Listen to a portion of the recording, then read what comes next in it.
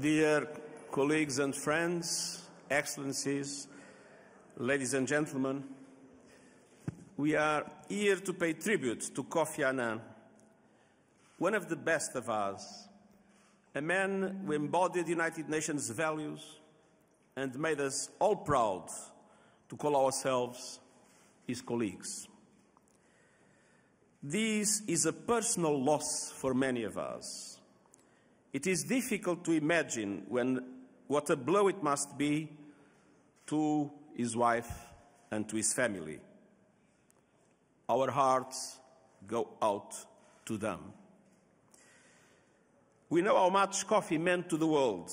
I would like to say a few words about what he meant to all of us who work for the United Nations. Kofi Annan's years in office were an exciting time. He put forward new ideas. He brought new people into the United Nations family.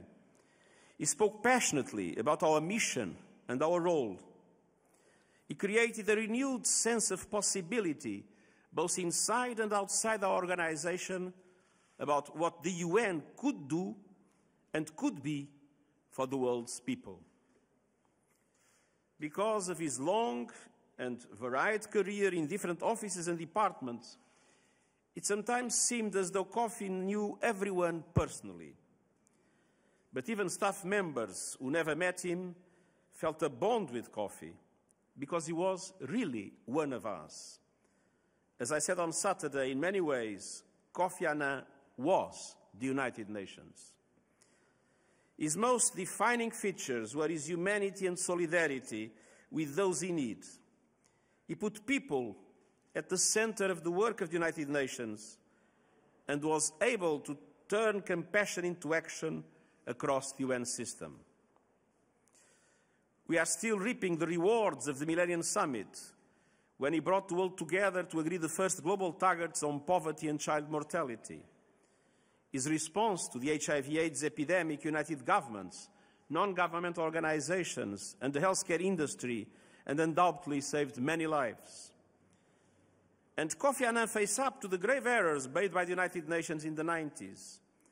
In its response to the Rwanda genocide and Srebrenica killings, by shining a light inside the UN, the reports he commissioned aimed to make sure such terrible mistakes are never repeated and set the international community on a new course in its response to mass atrocities.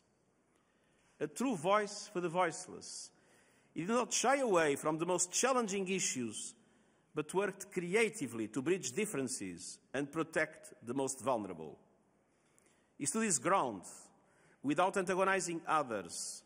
His humility, good humor, courtesy, and charm went hand in hand with enormous wisdom and strength.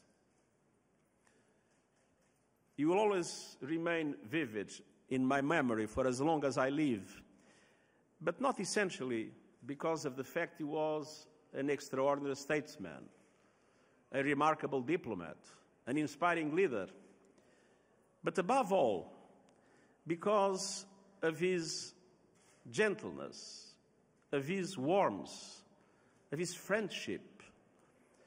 He was indeed a good man and a gentleman, and always at our disposal to support us, to comfort us, to be in full solidarity with us in any difficult moment that one of us, as colleagues of him, would have.